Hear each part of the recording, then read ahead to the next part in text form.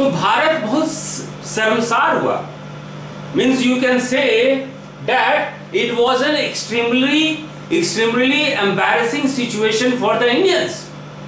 Cripps mission का fail करना और ब्रिटिश जो है बार बार इसमें भारतीयों और कांग्रेस को ही जिम्मेवार बता रही थी कि आप लोग का मुसलमान के साथ बनता नहीं है इसीलिए क्रिप्स मिशन फेल किया गया लेकिन क्रिप्स मिशन फेल करने का सही कारण यह था कि कांग्रेस डिमांड कर दी कि ऑल इंडिया गवर्नमेंट सेटअप कीजिए और डिफेंस में भी हमारा प्रतिनिधि दीजिए तो it was an very embarrassing situation for the Indians और भारत की सिचुएशन क्या थी जापान आ चुकी थी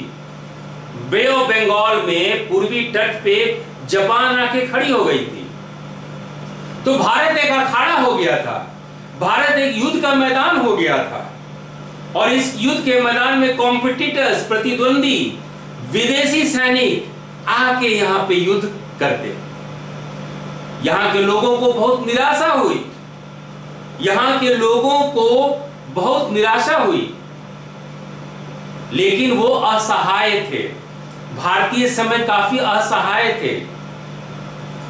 काफी असक्रिय थे